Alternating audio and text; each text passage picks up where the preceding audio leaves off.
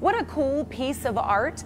This is made by a local artist. And one of the things that's really unique about this exhibit is that there are scientists and artists that have collaborated and collided to communicate all the different elements of water and how it is integral to our lives. This is one of the exhibits uh, made by a local artist. And then as we spin around here, we're going to take you inside another exhibit. Of course, my tour guide, Jeff. Jeff, where are we entering? So we're entering the fog of dawn. The fog of dawn. And I yeah, feel so like you need to have that like you- you- booming voice. You, that you do need. There's drama here because Drama. what this explores and what this actually shows us is how life moved at the at the dawn of life from water to land, and and that life was plant life, and that life was carried from water to land on fog.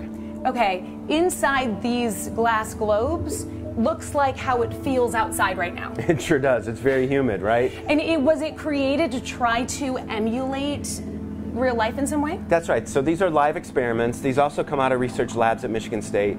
Um, each of these terrariums was planted two weeks apart. So the one you're shooting right now is the one that was planted earliest and has the most plant life. Each of these are different stages of showing how plants grow.